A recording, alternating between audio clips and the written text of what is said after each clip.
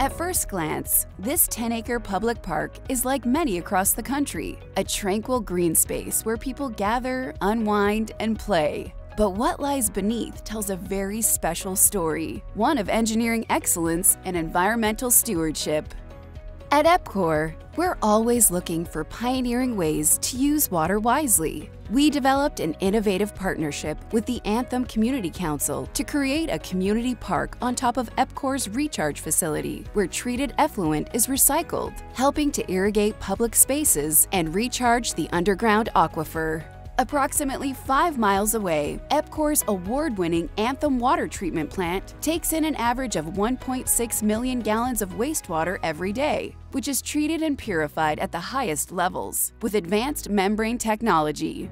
Nearly 100% of that treated effluent is delivered to the recharge site via a pipeline and continuously soaks deep into the ground until it reaches the aquifer some 400 feet below the surface residents can enjoy the park without ever knowing they are taking part in a complex system designed to renew the water cycle.